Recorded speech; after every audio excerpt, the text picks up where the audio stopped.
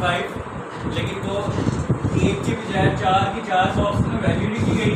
और मेरे मुताबिक अगर मेरे फार्मूले में वो अमल करता तो ज़ीरो पॉइंट वन सिर्फ़ इस कॉर्नर को गोल होना था, लेकिन उसने चारों के चारों कॉर्नर गोल कर उसकी रीज़न क्या है? उसकी रीज़न ये है कि इसकी जो स्केलिंग है ना, ये वाली स्केलिंग ये स्केलिंग ये स्केलिंग और ये स्केलिंग इसके दरमियान एक लॉक लगा हुआ है, जो कि मैंने इस लॉक को इस वक्त पुश करके रखा हुआ है। क्लिक करके रखा हुआ है ठीक है?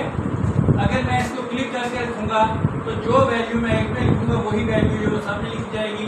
अब मैं यहाँ पे ज़ीरो पॉइंट टू की वैल्यू लिखता हूँ और एंटर करता हूँ तो तमाम के तमाम पे कौन सी वैल्यू अप्लाई हो जाएगी? ज़ीरो पॉइंट टू की वैल्यू अप्लाई हो जाएगी। अगर मैं यहाँ पे ज़ीरो पॉइंट फाइव की वैल्यू लिखता हूँ तो तमाम का ज़ीरो पॉइंट फाइव की वैल्यू हो जाएगी। यहाँ पे मैंने आपको दो चीज़ें बताई हैं। एक बॉक्स के किनारों को गोल करने का एक तरीका वो भी है, जिस तरीके से आप लोगों ने गोल किया है। और एक ये तरीका भी हो सकता है कि हम जैसे ही एक बॉक्स ड्रॉ करते हैं बॉक्स के साथ हमें ये वाले, यहाँ से हमें ये वाले पॉइंट्स या ये कमांड्स मिल जाती हैं। इन कमांड्स के बाद हम क्या करते हैं, यहाँ पे हम कोई भी वैल्यू देते हैं, जिस तरह लेट से मैंने यहाँ पे ज़ीरो पॉइंट फाइव की वैल्यू दी, एक जगह पे, किस जगह पे वैल्यू दी हुई है मैंने? इस जगह पे वैल्यू दी है। लेकिन चूँकि ये लॉक वाला बटन पुश हुआ हुआ है तो एक पे वैल्यू दूँगा तो सब पे अप्लाई हो जाएगी, ये देखिए। क्लियर होगी बात ये?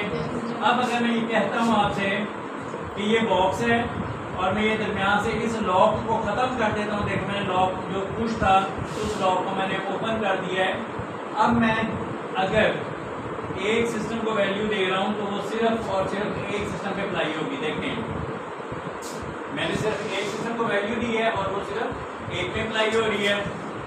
अब अगर मैं चाहता हूँ कि मैं इस एरिया को भी गोल कर दूँ तो इस एरिया को गोल करने के लिए मैं क्या करूँगा? मैं इसको भी कोई वैल्यू दूँगा। For example zero point five की वैल्यू दे दी, वो एरिया भी गोल जब